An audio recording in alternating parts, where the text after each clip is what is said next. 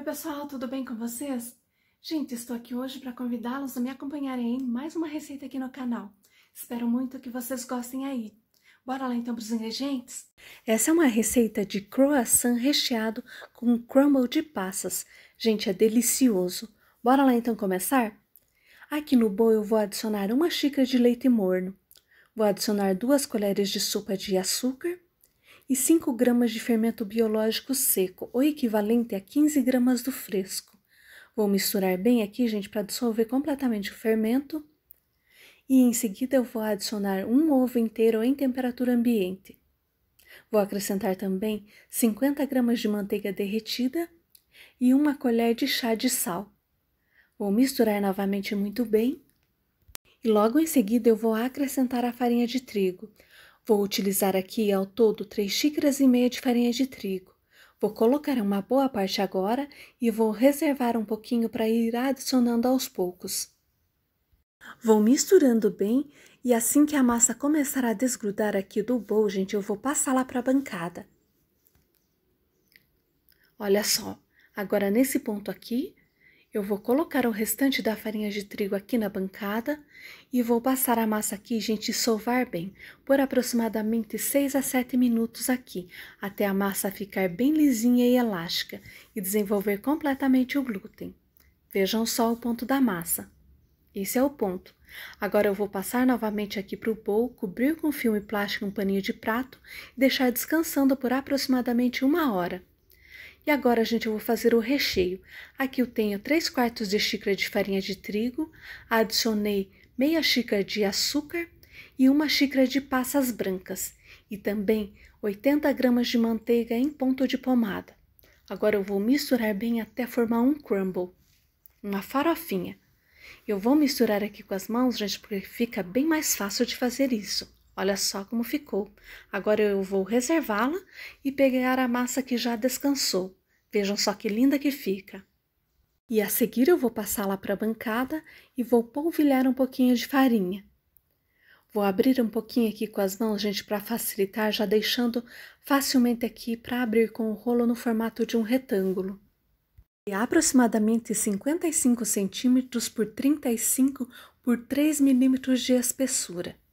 Agora vou pegar o recheio e dividi-lo em duas partes. Vou colocar aqui, gente, uma parte do recheio na metade da massa. Eu vou espalhar tudo aqui muito bem, gente, somente até a metade da massa. Agora eu vou cobrir com a outra metade e vou fechar bem aqui as laterais, apertando bem. Olha só, ajeito bem aqui as laterais e agora eu vou esticar aqui novamente com o rolo até o recheio ficar bem compacto e retirar todo o ar aqui da massa. Olha só como ficou. Em seguida, eu vou pegar o restante aqui do recheio e vou espalhar novamente somente na metade da massa novamente. Olha só como fica. E agora eu vou cobrir novamente com a outra metade. Vou fechar bem aqui as laterais e vou apertando já para retirando o ar. Esta foi a minha segunda dobra. Agora, gente, eu vou dobrar aqui novamente fazendo a terceira dobra. Ajeito bem e vou esticar aqui novamente com o rolo.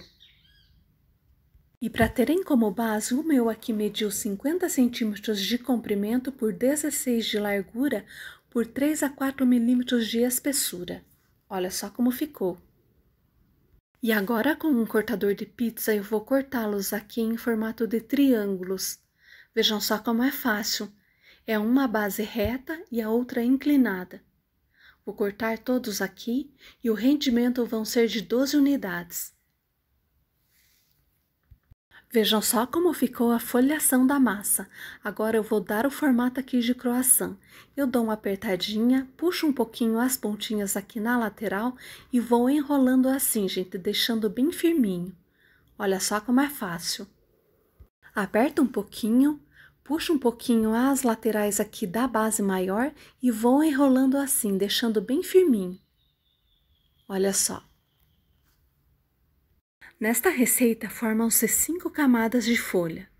Vejam só como é fácil de montar, gente. Vou fazer todos aqui e vou colocá-los em uma assadeira. Olha só como fica. Essa minha assadeira aqui, gente, não há necessidade de untar, mas pode untar aí caso seja necessário. Coloco-os na assadeira dando uma apertadinha assim. Em seguida, vou cobrir com um paninho de prata e deixar descansando por 15 minutos. Vejam só como ficaram. Agora, gente, eu vou pincelar aqui com o ovo batido e levar ao forno pré-aquecido a 180 graus por aproximadamente 35 a 40 minutos no forno. Mas fiquem de olho aí. Olha só como ficaram os meus. Lembrando de deixar um espacinho entre um e outro na assadeira, pois eles ainda crescem no forno. Olha só que lindos que ficam, gente, ficam deliciosos. São perfeitos aí para acompanhar um cafezinho. Olha só, ficam crocantes por fora e macios por dentro. Lembrando que eu vou deixar todos os ingredientes na descrição do vídeo. Espero muito que vocês tenham gostado dessa dica. Por hoje é só, vou ficando por aqui. Um abraço a todos e até o próximo vídeo. 昭昭。